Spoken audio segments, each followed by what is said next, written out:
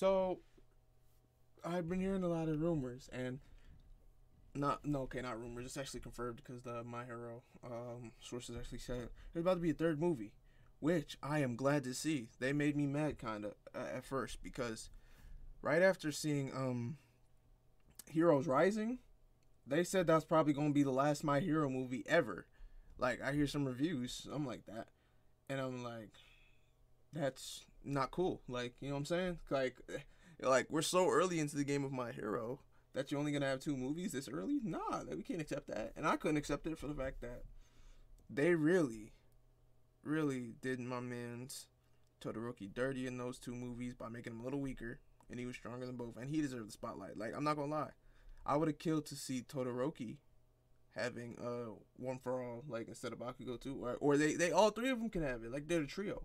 But in this upcoming movie, they're a trio coming up uh actually, and that's something I actually love to see. I want to see Todoroki star in a movie with Deku. Like first one was All Might and Deku, next one was Bakugo and Deku. Now I hope the next movie, movie number three, will have all three of them because Deku and Todoroki are my favorite characters. Like I really like their dynamic, and I feel like they would make a stronger team. Let me know what you think in the comment section below. Give me a like, comment, subscribe, and I will see you next time.